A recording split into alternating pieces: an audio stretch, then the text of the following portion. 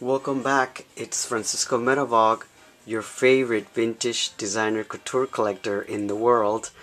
I started collecting as a hobby American, European, and Japanese designers, and I've been collecting for more than two decades.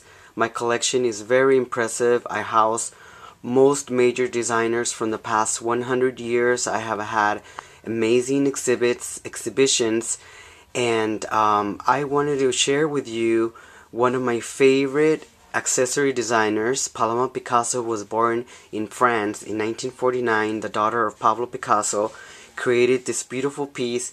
She actually started um, designing accessories in the late 80s and um, but in 1986 when she was working as a costume designer she basically was discovered um, through her accessories and was given the opportunity to work for Zolotas, Yves Saint Laurent, and Tiffany's and companies, just to name a few, as an accessories designer. So her accessories are actually um, very hard to find, the early pieces, and this is one of them. This is from like 1988 or 89. It is um, as is. It's in good condition. It just needs to be cleaned. But overall, it is a fabulous belt made out of chain.